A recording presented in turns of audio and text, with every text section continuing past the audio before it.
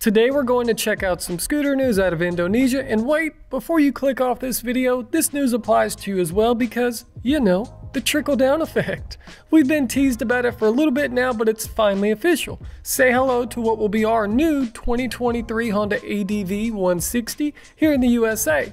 Ever since Honda rolled out their new 156.9cc 4-valve engine that's used in the PCX 160 here in the States and around the world, everyone has been wondering, when will the 2-valve 149.3cc setup that's currently used in the ADV 150 be thrown to the side for this new, more powerful engine setup and thankfully, we don't have to wait any longer. This new engine brings a little bump in performance with an extra 1.5 horsepower, bringing its peak power up to 15.82 horsepower and an extra 0.7 foot-pounds of torque for a total of 10.84.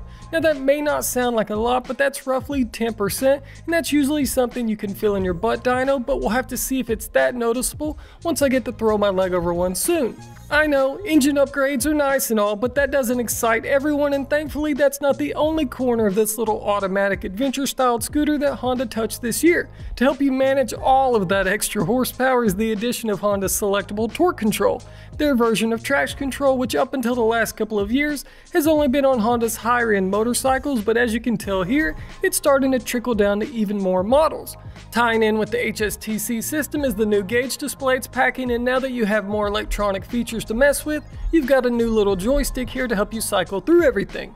Another big update is the new lower seat height. It's been dropped from 31.3 inches down to 30.7 inches, which will definitely help those that might be a little vertically challenged, which also caused Honda to cut the handlebar risers a little bit to accommodate the lower seat and it also has a different shape now to help with getting your feet on the ground. And while on the topic of seats, underneath it you now have an additional 2 liters of storage bringing the total capacity up to 30 liters.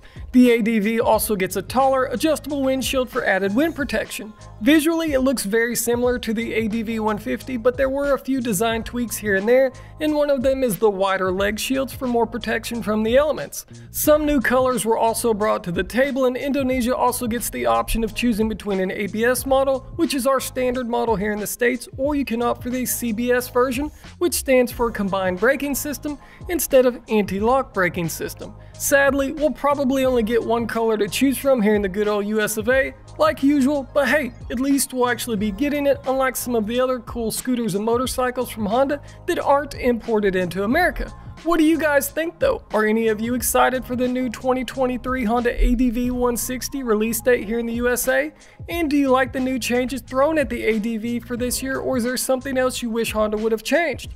Let me know what you're thinking down in the comments section and I'll be joining in on the conversation too. Thanks as always for watching and helping support all of this. I really appreciate it guys and we'll see you in the next one.